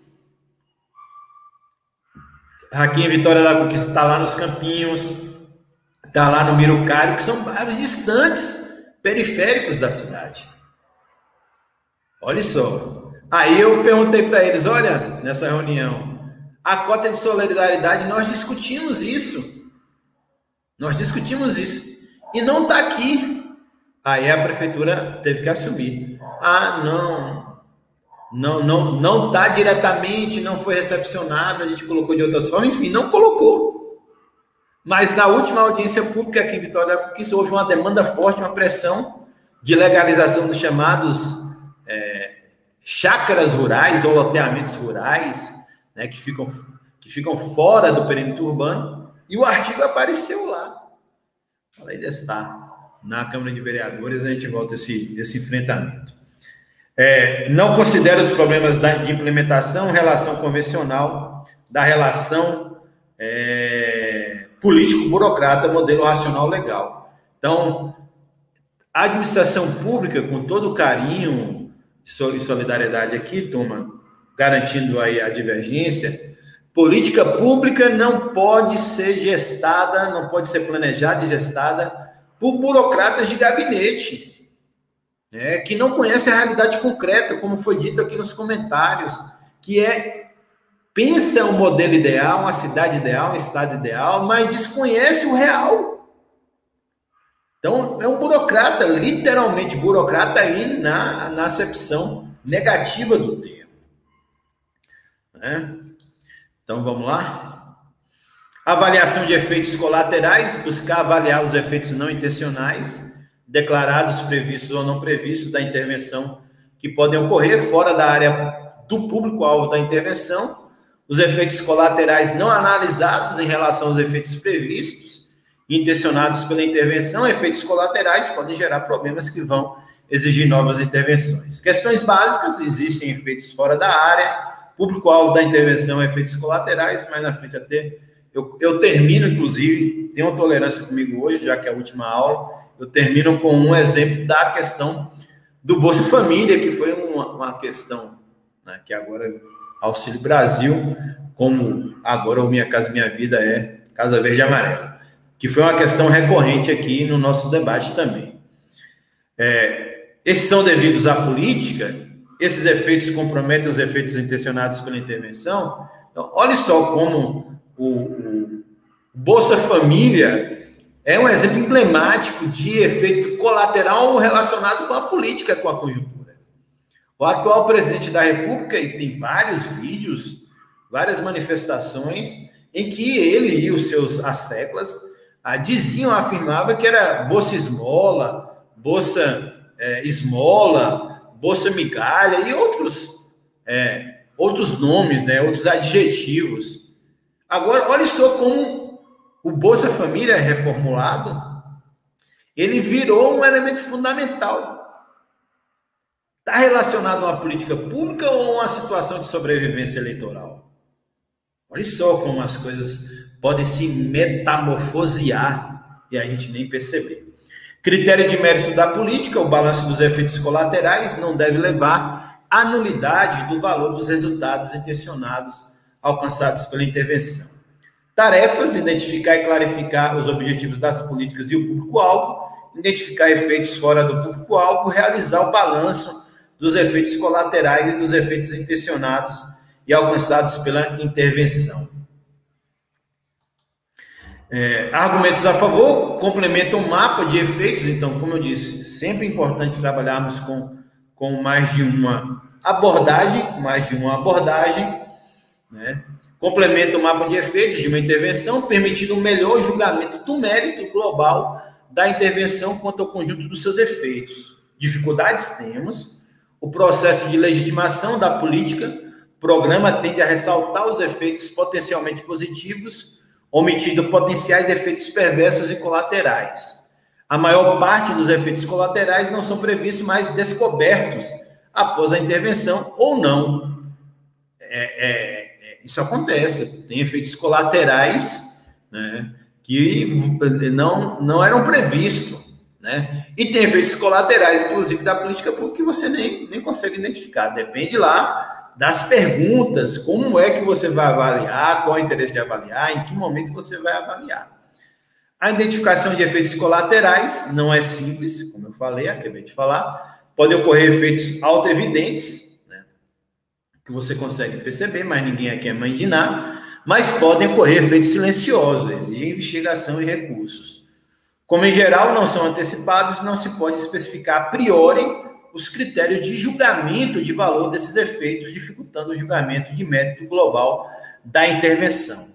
A revelação de efeitos colaterais negativos leva à necessidade de novas intervenções e virtualmente o aumento dos custos da intervenção original. Em uma política pública, você pode ter um orçamento público inicial, teve efeitos colaterais não identificados mas que houve necessidade de reposicionamento da política pública. Em muitos casos, eu diria, turma, na maioria dos casos, é mais importante ou seria mais adequado você realizar um aporte de financeiro para reposicionar a política pública do que eliminar, né, extinguir aquela política pública. Ela, ela pode, deve ter é, situações de correção mas, em muitos casos, o mais adequado é você reposicionar a política pública e não fazer a extinção dessa política pública. Pode até ser, extinta, mas não é o mais adequado. O interesse dos tomadores da decisão recai sobre os efeitos intencionados pela intervenção, foco da avaliação e raramente se ocupa dos efeitos colaterais. E já já estou é, terminando, gente. Eu vou pedir só um pouco de calma, né? Como diria a Lenine, né? Um pouco de paciência para a gente fechar nisso que eu programei para essa aula final. Avaliação orientada a resultados, nessa né? avaliação livre, eu vou até ler mais é, do que comentar, para a gente conseguir dar conta aqui. O foco são os resultados da intervenção como um todo. O avaliador deve identificar os efeitos da intervenção numa perspectiva de avaliação cega, entre aspas, não é tão cega assim, você tem que ter alguns parâmetros. Né? Questões básicas, quais os resultados se derivam da política, qual o balanço que se faz dela. Então, políticas públicas, você tem que é, vislumbrar ah, mais de uma possibilidade de resultado. No cenário, no desenho, que, por isso que é importante o desenho, um resultado 1, um, um resultado 2, um resultado 3, e você ir acompanhando esse processo. Critério de mérito da política, o julgamento do mérito, a relevância dos achados e a ação futura deve ser deixada aos tomadores de decisão. Tarefa, né, as tarefas desse processo, identificar os efeitos pós-intervenção da política pública identificar aqueles que se derivam da intervenção, apresentar o balanço dos efeitos produzidos na intervenção. Né? Argumentos a favor também dessa abordagem, permite a identificação do conjunto de efeitos da que é a abordagem livre, né? É, permite a identificação do conjunto dos efeitos da política pública de modo livre em relação àquilo que os domadores da decisão declaram como objetivos. Gente, eu vou confessar para vocês, é porque a a literatura coloca, eu preciso falar para vocês, mas eu tenho um medo desse tipo de abordagem livre, sem um mínimo de parâmetro. Confesso para vocês que é um, é um temor meu. É, fica muito na, na discricionariedade. Os efeitos de uma política são múltiplos e a maioria deles não são conhecidos pelos seus proponentes a priori. Dificuldade, não considera os custos da intervenção. É relevante levar em conta os objetivos programáticos do governo, viu aí? Qual, qual o programa do governo? Qual é a. Pois interessa ao cidadão saber se o compromisso foram cumpridos pelo governo eleito. Isso é fundamental nessa avaliação livre aí. Seu programa de governo é, tem uma relação com o que está sendo é, efetivamente cumprido, que é uma coisa que a gente não faz, infelizmente, como cidadão, como cidadã, analisar o programa de governo e depois acompanhar. Né? Tem muita gente que fica assim, ah, muita gente boa, inclusive, amigos, decepcionado com Bolsonaro, com o presidente da República. Você leu o programa de governo? Não, deveria. Porque ele está fazendo o que ele disse lá no programa de governo. Talvez até pior, mas o mínimo está lá. Deveria ter lido o programa de governo. Ingenuidade dá nisso. Ingenuidade de uns, maledicência de outros. Avaliação orientada ao cliente, né? Eu, eu gosto muito da expressão usuário, mas respeito quem acha que o usuário do serviço público é um cliente. Eu não uso essa expressão, cliente, por isso está entre aspas. Parte dos objetivos, expectativas, preocupações e necessidade dos destinatários das políticas, programas. Considera-se que todos os aspectos da intervenção podem ser considerados a partir da perspectiva dos clientes Questões básicas: a política programa atende às necessidades dos destinatários, a política programa atende à expectativa e, de, desejo dos destinatários. Critério é uma situação meio individualizada, por isso que eu não gosto tanto dessa abordagem.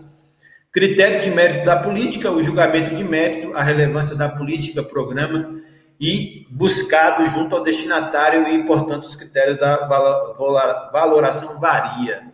Uma relação tanto quanto individualizada, eu tenho dificuldades com esse tipo de abordagem. Tarefas: identificar e localizar os destinatários da intervenção, os clientes, analisar a cobertura e analisar a visão dos destinatários sobre intervenção, pesquisa de satisfação.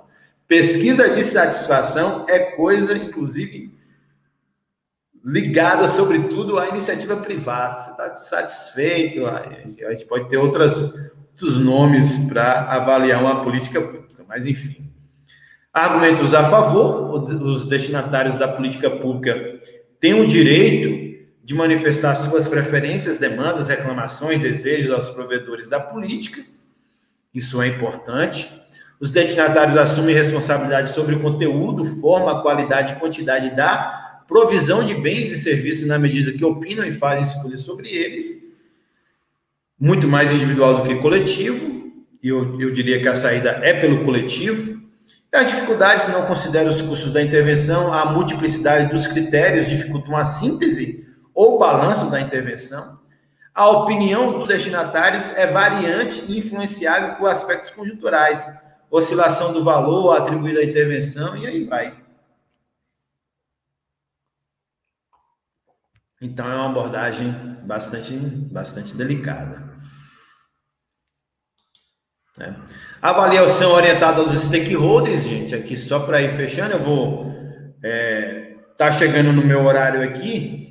Então, vou tentar dar uma avançada aqui nesse material, mas aqui é a avaliação em que os participantes é, têm uma, uma, uma, uma, uma relação de privilégio, vamos dizer assim.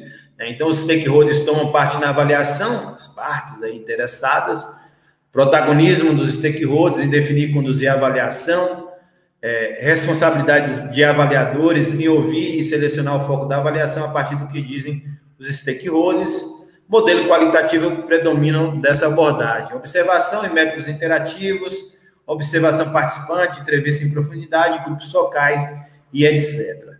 É, é uma, uma, uma abordagem bastante interessante. Eu tenho um, um, uma relação de proximidade, eu acho que é uma abordagem bastante adequada.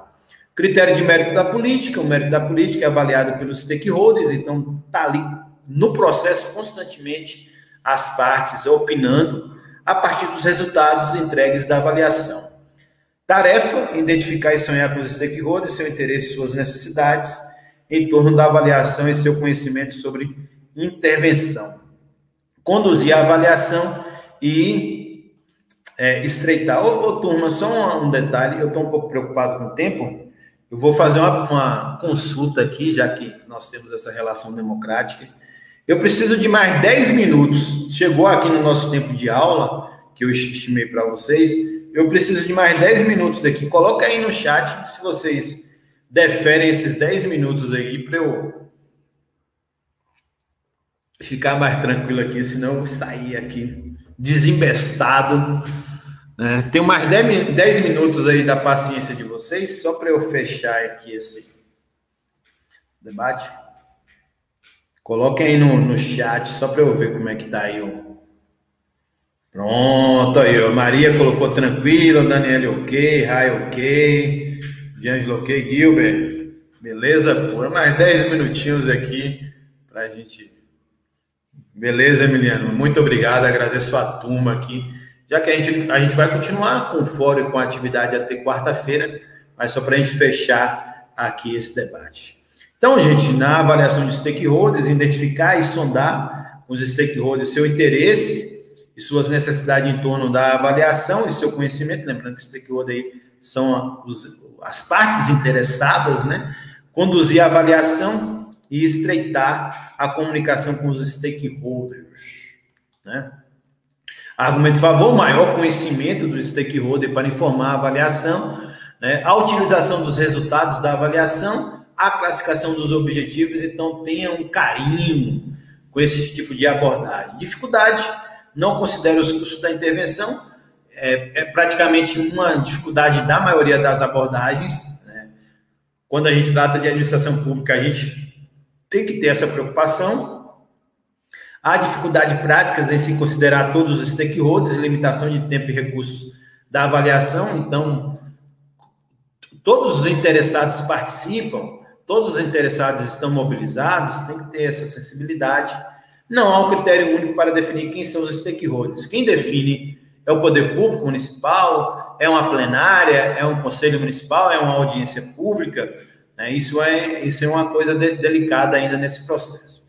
E risco dos avaliadores adotarem uma teoria pragmática da verdade. O valor da verdade fica condicionado aos interesses e perspectivas dos stakeholders. Né?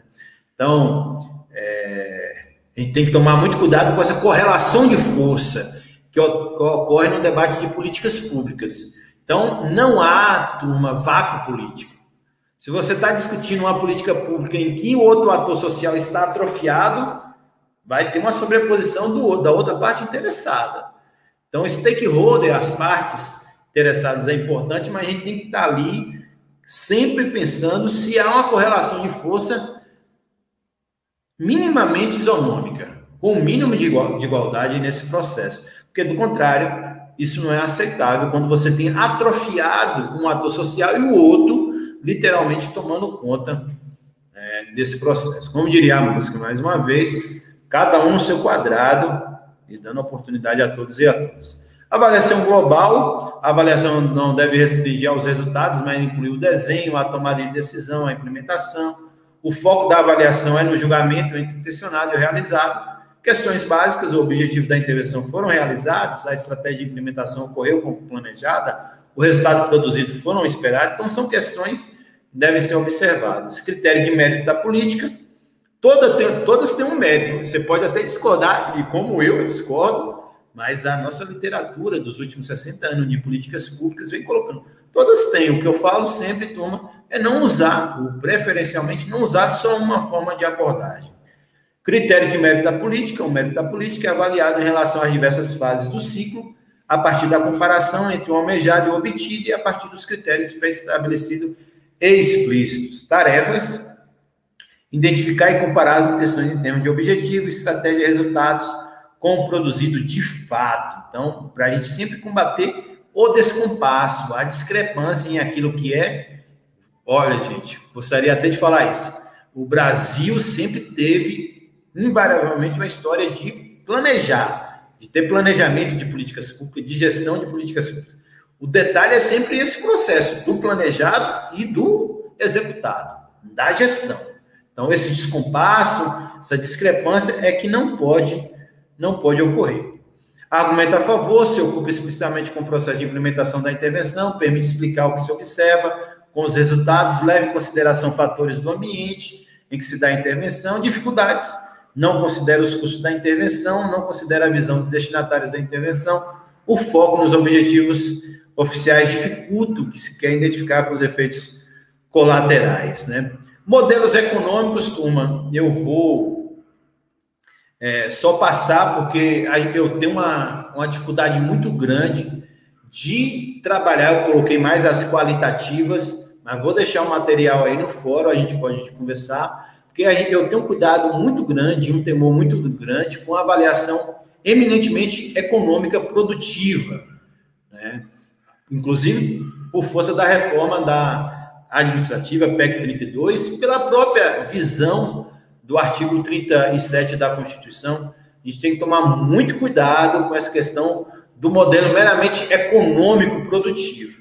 É uma abordagem, é, mas a gente tem que tomar muito cuidado. Então, eu vou superar aí e justamente passar para o último slide aí, né? Esse, esse modelo de profissionais também é importante, mas a revisão de pares também não é tão adequada assim é boa, mas não é suficiente. E tem problemas também, como toda abordagem. Eu priorizei as, as mais quantitativas, qualitativas ali do último processo. E aí, nosso último slide. Né? Viva! Eu não sou um professor de slide, viu, gente? Mas o pessoal fala assim: agora, nesse momento, tem que trabalhar com slide. Então, às vezes, um programa mais slide do que eu consigo falar e comentar, porque eu falo muito, eu comento muito. Enfim, chegamos aí ao último slide. Só para a gente pensar, né? Só para a gente pensar nessa relação de avaliação, efeitos colaterais, efeitos perversos. E eu fiz questão de colocar aqui, gente, porque o nosso, nosso presidente Jair Messias Bolsonaro, na última semana ou na última na última quinzena, ele falou que as pessoas estavam comendo mais, né? Mesmo a inflação chegando a, a dois dígitos, a carestia, a gente sente é, em cada ida ao supermercado, é, é, é palpável, em cada ida mesmo, assim, eu tenho ido semanalmente para até, até tentar ver se tem uma diminuição tal. Minha esposa, minha companheira, não gosta não, vou até confessar aqui, Mas está faltando tal coisa, você não pode, antes você comprar mais duas coisas de cada. Eu falo, não, estou comprando semanalmente para ver se na próxima semana o preço abaixa, mas o preço só aumenta. Infelizmente, né? É rir para não chorar, até sair uma lágrima aqui agora. Mas é só para a gente pensar aqui, gente, nessa relação público-alvo, sempre pensar no efeito almejado positivo, efeito perverso, né? Que não é, não é o, almejado, né? Então, se tem um efeito almejado positivo e tem um efeito perverso não almejado, acaba que a política pública, em tese, né? A gente vai retomar isso lá no fórum, ainda quem ainda não participou desse fórum 3. É um efeito nulo, né? Foco da avaliação de objetivos atingidos. Público-alvo também é efeito colateral previsto ou não previsto. Se você tem um positivo ou negativo, em tese, em tese, você tem um efeito nulo aí, né? Nessas relações aí. Só. Aí, pronto. É porque é, o último é duplo, né? Então, intervenção no Bolsa Família, né? Então, público-alvo aí, né? O ponto positivo, reduzir a, desnutri a desnutrição. Né? Então, eu não sei se vocês viram que o presidente falou que as pessoas estão comendo mais, tá? Então, aí eu coloquei aqui, efeito nulo, entre aspas, é uma provocação, aumento, aumenta a incidência da obesidade. Será mesmo com o valor da, da Bolsa Família? Né? Reduz a denunciação, opa, efeito positivo. Aumenta a incidência da obesidade. Então, as pessoas usuárias do programa Bolsa Família ou é, Auxílio Brasil, elas estão comendo mais, chegando a uma situação de obesidade. Então, olha só como você tem que tomar cuidado no processo de avaliação. Porque tá, você pode chegar a uma avaliação de efeito nulo. Veja como a pergunta ela é importante, o momento da pergunta ela é importante e qual é o objetivo da pergunta, né? Tá lá, público não alvo. Aqui é para o público alvo, aquele original. Aqui é para o público é, colateral. Aumentar a frequência da escola. Opa, né? A vinculação, tal, carteira de vacinação, frequência escolar, né? Aí você coloca lá o público não alvo foi até uma pergunta que fizeram, professor, o que você acha do auxílio emergencial? Aí eu vi muita gente falando assim, ah, ele é importante aqui no chat, mas tem muito, é, muita gente que não, não, não, não deveria estar recebendo, não tem fiscalização, então tá lá, ó. Subdeclaração de renda. Né? Subdeclaração de renda. Pessoas, inclusive em alguns casos, servidores e tudo mais, recebendo Bolsa Família. Então, olhe só as perguntas, como são importantes. Opa, é importante aumentar a frequência escolar? É. Aí você coloca lá como um efeito negativo subdeclaração de renda. Aí, de repente, você pode desqualificar o programa. Olha só. É um programa que não serve para todo mundo, tem muita gente comendo muito, tem muita gente que está recebendo e não precisaria.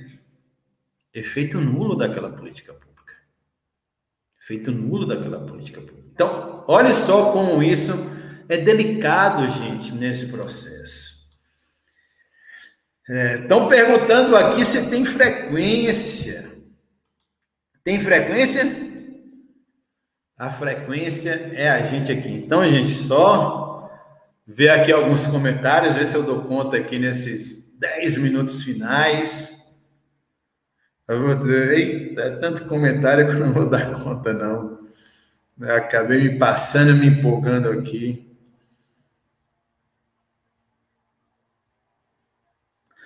É... Ah, peguei aqui. Emiliano colocou, de Emiliano, Emiliano, boa sorte. É, o produto não seria, então, um mecanismo de avaliação de eficiência do processo? Emiliano, sim, mas ele não pode ser um fim em si o que eu defendo, tanto no processo de avaliação, ensino e aprendizagem, como é, e no EAD a gente faz dessa forma, é que você deve ir avaliando por etapas. Então você não pode ter um produto único de avaliação desse processo. Então perceba como você tem uma, o fórum 1, aqui no nosso caso, foi, foi pontuado. você tem uma atividade 1, foi pontuado, e aí sucessivamente. Então, o produto, ele, ele tem uma intencionalidade ligado às, às atividades que a gente fez. Ao vídeo, ao texto, o artigo que eu coloquei para vocês, o debate que a gente fez aqui, tudo tem uma intencionalidade. Então, perceba, Emiliano, que o produto, ele é o resultado, mas ele não pode ser um fim em si mesmo. Eu, eu parto da premissa que a gente tem que estar sempre avaliando as etapas, os processos. A gente vai ter uma visão mais holística desse processo de avaliação, que simplesmente tem uma prova. Imagine na política pública, trabalhando com a analogia da, vamos chamar assim, da, da questão escolar, se você simplesmente pega uma prova lá no final para uma prova por unidade, seja lá o que for. Eu, com meus alunos, tento fazer uma avaliação constante. Não faço chamada. Olha, chamada é uma forma. Está aqui vocês preocupados com a chamada. Chamada é uma forma de avaliação. Eu não faço chamada. É, eu parto da premissa que a gente está aqui num processo é, de reciprocidade. Roger colocou, na verdade, esse governo fez foi nada, a não ser acabar com tudo que foi conquistado. Lamentável. Concordo com você, Roger. Até os servidores públicos foram prejudicados. Olha a reforma administrativa que foi enviada ao Congresso. Está aí, né? Para ser votado. Um absurdo liberar a contratação temporária e a terceirização em vez de concurso. É o desmonte, né, hoje? É o desmonte né, da administração pública. A concordou com você. Eric colocou segurança dever do Estado também. Com certeza, Érica. Com o atual governo, temos que nos proteger, tendo armas em casa eu discordo de você que ter armas em casa é se, é se proteger. É, é a quantidade de acidentes domésticos. E eu não estou preparado, você, Érica, não está preparado, mas ah, vou fazer prova de tiro e tudo mais para uma relação belicosa. A gente não tem esse preparo é, para esse tipo de atividade. Quem tem é as polícias, as forças de segurança. Né?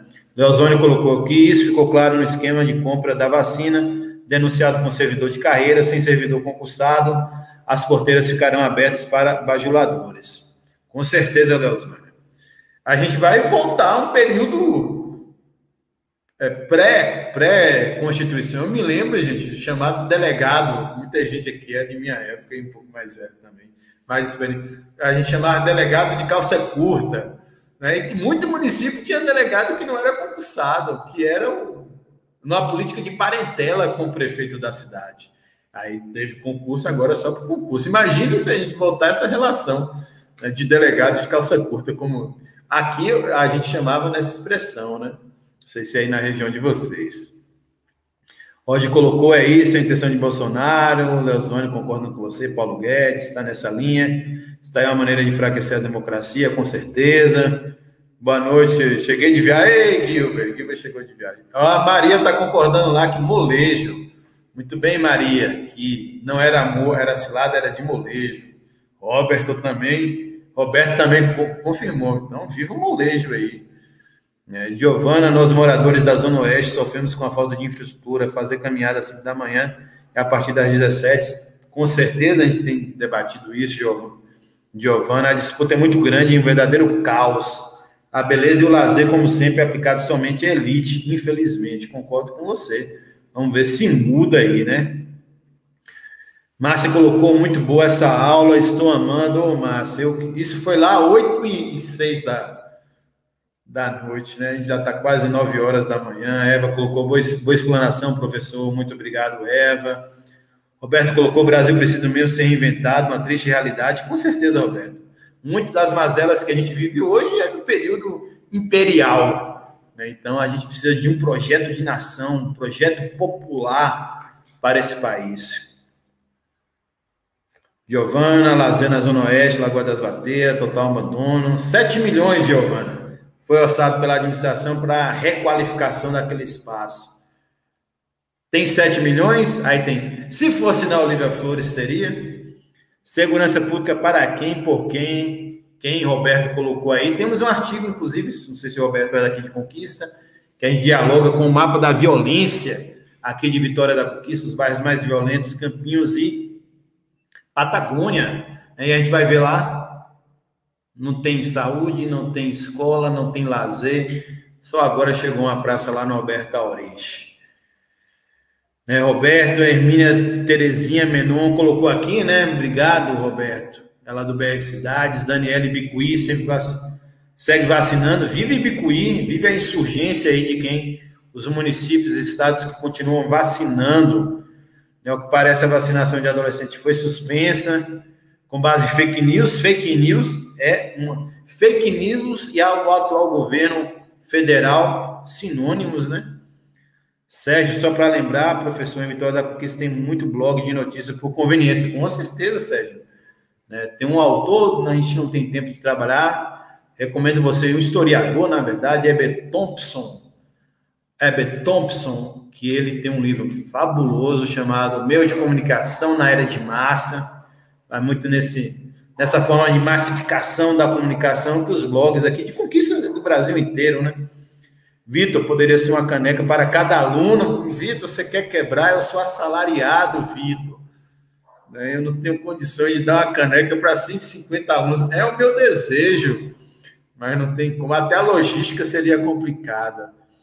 Sérgio colocou aqui, professor Cláudio, parabéns pela maneira como o senhor conduziu a disciplina. Ô, Sérgio, eu que agradeço mais uma vez agradecendo a todos e a todas. E todos, né? A temática política pública será muito importante para o nosso conhecimento. Muito obrigado. Eu que agradeço. Fico feliz que vocês possam levar para o cotidiano, para além da academia, fazer um artigo, tá? Eu tenho um pé na realidade, já diz o grande Frei Beto, né? Grande pensador. A cabeça pensa no lugar em que os pés pisam. Então, não adianta nada você. Aí a lógica produtivista. Vamos fazer artigo, gente. Tá. Lógica produtivista. Importante que a gente tenha pé no chão. De Carlos, mais uma ótima aula. Gada de Carlos, Samara, ótima condução mesmo, Sérgio. Excelente aulas. Valeu, Samara. De Ângela, excelente, Gabriela. Um presente na sexta-feira essa aula. Sexta-feira é difícil, né, Gabriela? Minha esposa fala, mas sexta-feira você vai dar aula. Falou, gente. Gilbert, ele é show que nada, Gilbert. É um prazer que estar aqui com vocês. Alana, muito. Maria, professor, participar de suas aulas é uma satisfação. Já estou triste, você é excepcional. Ô, Maria, janeiro tem mais. Para mim, que gosta de políticas públicas, já estou. É, um emoji aqui, eu acho que é saudade, não sei. Parabéns, todos os debates foram excelentes. Antônio Neto já fico com saudade, também estou com saudade. Janeiro tem mais. Hoje colocou excelente. Roger, excelente aula, professor. Obrigado, Roger. Érica, professor, parabéns. Aula excelente. Valeu, Érica. Marcos, se tiver alguma dúvida, gente, da atividade também, coloquem aí tal, que a gente já está finalizando. Sobre o tema de políticas públicas, Marcos, de combate à segregação urbana na construção do plano diretor urbano, recomendo a minissérie Show Me Hill. Não conheço, Marcos. Vou, vou, vou ver, tem muita coisa boa. Aí fica uma dica até para a próxima disciplina, é, em janeiro, né? Eldemeir, aula top, fechamento com chave de ouro. Que bom, Helder, fico feliz. Alana, chave de ouro mesmo. Já estamos. E a caneca, essa caneca, essa caneca. É, Francisco Julião dizia que foi um dos líderes da Liga Camponesa, dizia que me dê 100 advogados que eu faça uma revolução. Eu vou plagiá-lo e falar, me dê aí 150 canecas que a gente faz uma revolução. A caneca fez sucesso. Você Família é instrumento de valoração ou desvalorização da dignidade do cidadão? Ô, Carline, eu entendo que valoração. É, eu entendo que Bolsa Família é um instrumento importantíssimo de é, manutenção de uma subsistência mínima, né? Como diria o grande Eduardo Suplicy, é uma renda mínima, uma renda cidadã, para você garantir um mínimo que a Constituição chama de mínimo existencial. Né? Então, eu entendo que é uma política acertada, que veio desde o governo de Fernando Henrique, ainda de maneira fragmentada, com a saudosa Ruth Cardoso, né? Acertado. O governo acertou em continuar, né? Agora reformulando tal, mas por conveniência, né? Josane colocou excelente professor, compromissado, até breve. Valeu, Josane. Daniel, justamente, sempre eu digo isso, nunca vendeu nada diferente do que vem fazendo, né, relacionado ao, ao, ao, presidente, né, ao programa de governo. Gostei dos seus slides, muito rico, cheio de conhecimento. Vou compartilhar para vocês. Se eu não conseguir compartilhar hoje, compartilho na segunda, porque terminando aqui, né, vamos tomar um, um vinho para brindar Eva Bispo, gostei do seu slide. Quem não toma vinho, toma suco. Quem não toma suco, toma água. Importante a gente beber morar. Gostei do seu slide, já foi, pode continuar. Ah, aqui já foi, já foi, já foi, já foi. Então, gente, agradecendo. Qualquer dúvida, Sérgio, por mim, tudo bem, já foi isso aqui, já foi do, foi do da enquete. Qualquer dúvida sobre a atividade 3, sobre o Fórum 3, temos até quarta-feira para finalizar a nossa disciplina. Né? Raio colocou aí muito boa aula. Beleza. É... Saltei aqui. Professor, este tempo foi prazeroso demais. Maria, ouvi o senhor, pena que acabou, Maria. O prazer foi meu, fico extremamente feliz com essa reciprocidade nossa aqui com esses momentos. Ediana, excelente aula, professor. Ótima didática de ensinar a sua. Parabéns, estou aqui no desenvolvimento da atividade 3. Lá e cá. Não esquece, gente, saindo daqui, vai lá também fazer a inscrição no canal do professor para dar aquela força, compartilhar os vídeos. Estou amando essa atividade diferenciada. Oh, que beleza! Valdeci, obrigado pela excelente aula, professor. Ô, Valdeci, eu que agradeço aí, você, grande tutor. Boa noite, bom final de semana a todos, principalmente aos alunos e alunas do Polo de Macaúbas. Valeu. Professor, você vai orientar as monografias? Irei orientar. É, aí, mais para frente, aí a gente... Quem é da minha linha Políticas Públicas, Plano Diretor Urbano, Planejamento das Cidades. Se o professor volta em que matéria? Ah, eu volto em janeiro com é, planejamento e plano diretor urbano, é em janeiro. Eu não tenho a data aqui de cabeça, mas é segunda quinzena ali de janeiro. É, já falei de Ângela. Mila, obrigado, professor Cláudio. Ô, Mila, eu que agradeço. Suas aulas vão além do esclarecimento, ensino e aprendizagem, são inspiradoras. Muito obrigado. Eu que agradeço. Vitor, que vinha em janeiro para nos reencontrar. Janeiro firme e forte. Roberto, parabéns, professor. Gabriela, boa noite. Diângela, cerveja, professor. O calor está demais mesmo. Cerveja também é importante. Antônio, excelente aula, professor. Daniele, valeu. Cláudio, boa noite. Então, gente, gratidão. Agradecer mais uma vez aqui é a oportunidade de estar com vocês. E a gente continua aí na luta, debatendo e lutando para uma política pública efetivamente justa, democrática e resiliente nesse país. Eu termino saudando vocês, um grande abraço e dizendo para vocês que só a luta muda a vida, só a luta muda a vida. Tá bom, gente? Um grande abraço e até a próxima. Tchau, tchau.